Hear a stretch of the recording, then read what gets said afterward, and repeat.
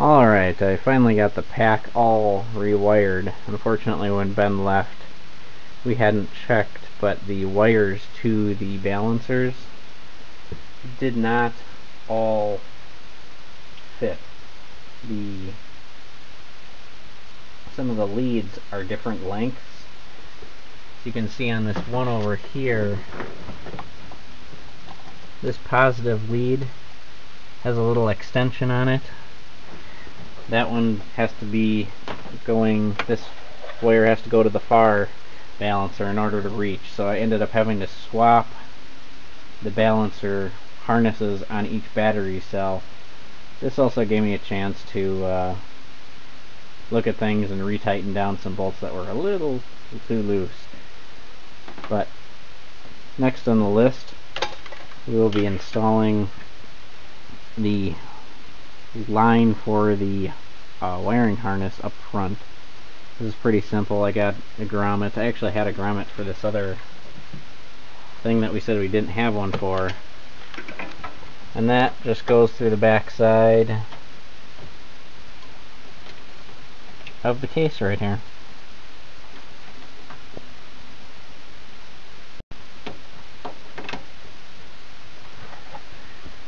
And then we just connect it to the DC to DC converter.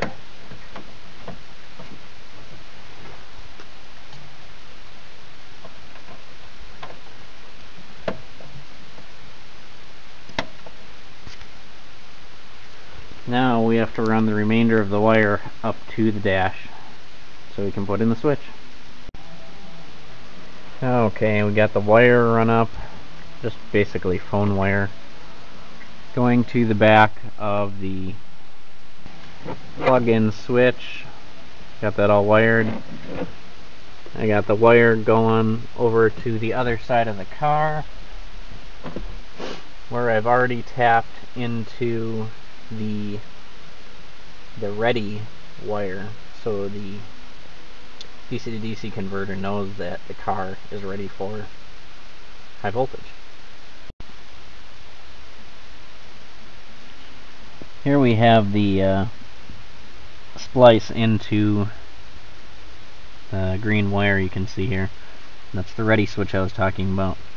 These two wires get attached to the existing factory EV mode on the Prius.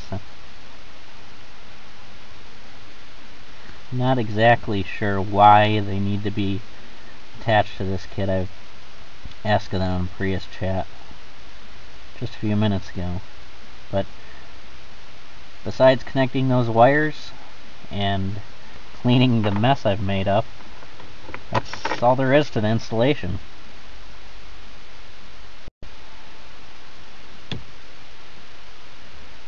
Here we have the wiring harness up in front of the car.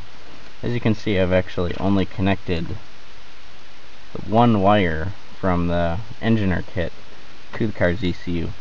And that's the ready wire. Uh, the other switches, or sorry, the other wires are for the EV switch mode, which actually, on the second day owning the car, I actually already put one of together so I really don't need that. I don't even think I'm going to hook it up at this point. I can always go back and change it.